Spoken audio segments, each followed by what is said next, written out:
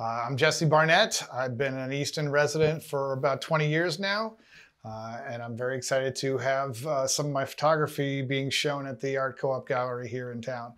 Uh, these particular photos are uh, specifically concert photography. Uh, I've been working in the, the music industry since 1994 and uh, and I started photography in 2012, but have been going to conferences for uh, for my business for a number of years, and ended up bringing my camera with me a few times and started shooting some of the shows and it just sort of became a natural thing to continue doing that as I go to concerts.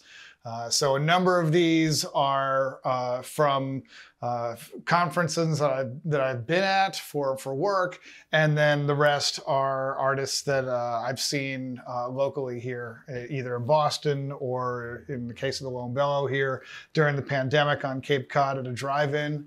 Uh, I got into photography uh, about a dozen years ago. I've been working from home for over 20 years.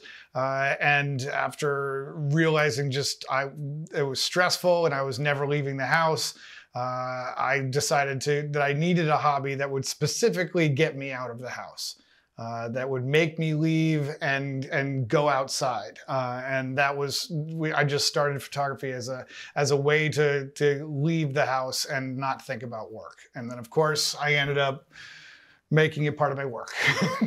Mostly I've been self-taught, um, but I've taken a couple different classes. I took one class on uh, uh, portrait lighting. Uh, I've taken uh, another class uh, on, uh, from Eric Lothrop on the architecture of, of Easton.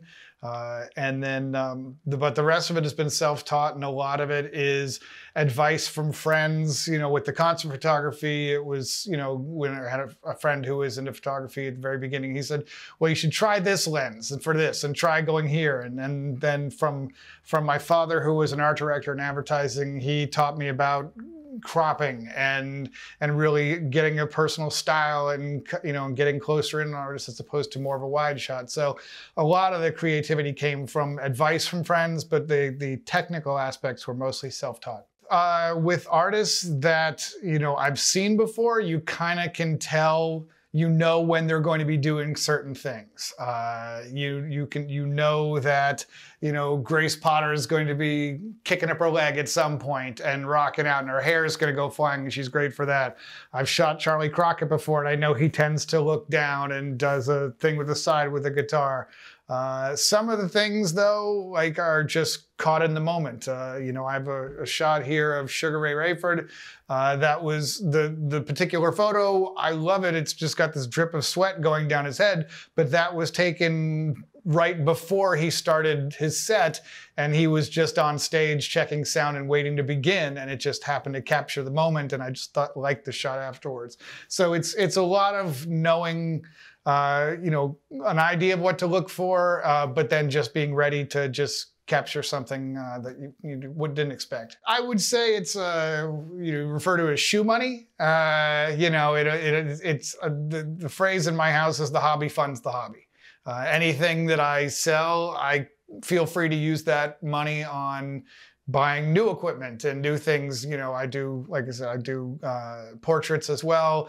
And so that I never feel guilty about spending the money to upgrade my, you know, my camera stuff and my lighting stuff if that's money I'm making from doing that. But my regular job is what pays the regular bills.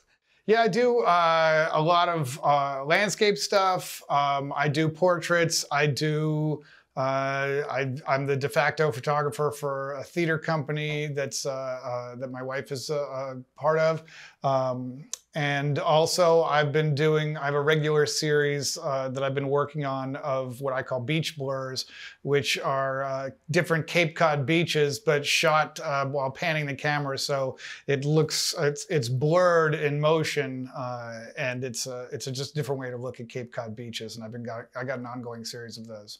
This collection just went up a couple of weeks ago, and it's going to be up, as far as I know, to the end of March. Uh, and you know, we'll see wh where it goes from there. But I've been offered the space for for the months of February and March. Best way, uh, I have uh, QR codes uh, up on the thing here, but uh, Instagram is a is a great way to reach out at first. Uh, Jesse Barnett, and and look forward to to being in touch with people.